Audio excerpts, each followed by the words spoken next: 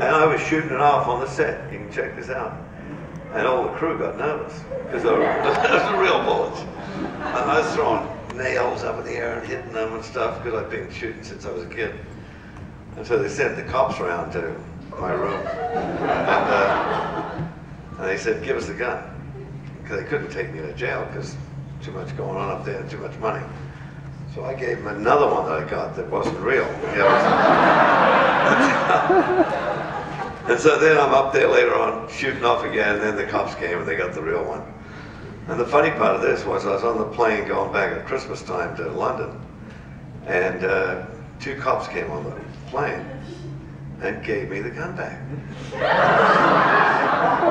and I'm going to London, and the PR guy said, you haven't got any guns on you or anything? I said, no.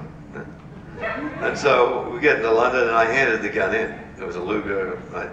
And they said, any bullets in? I said, yeah, two. I had two still left in the magazine. They said, take them out, please. I was doing all this in London.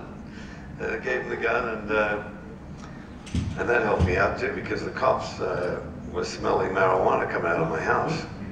Uh, the, the Bobby, the Bobby walking around the street, yeah, they, they could smell the marijuana, so they sent the drug squad around.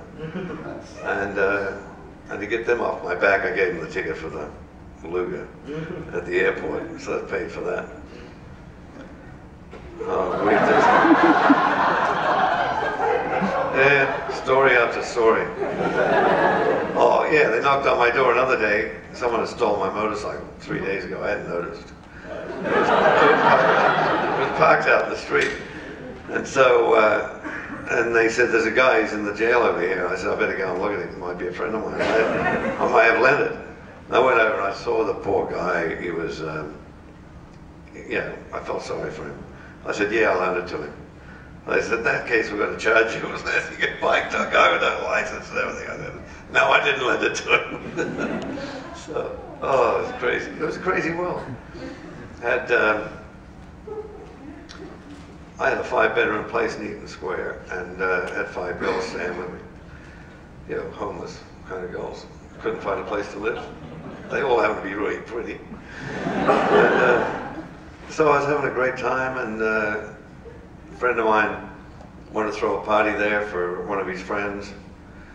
So he invited Madame Claude's hookers over. About, I was going to go out. I didn't know what the party was about.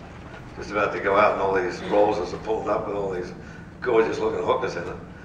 And they flew in from Paris. And I said, ain't going nowhere. Stay there.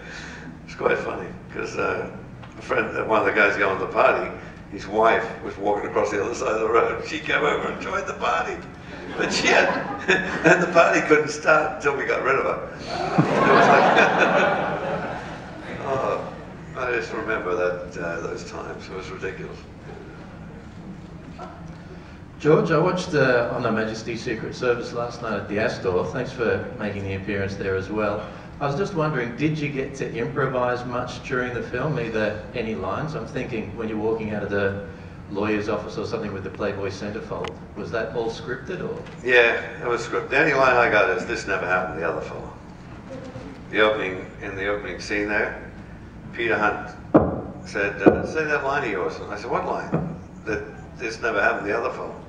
So I did, and they left it in. So I didn't need a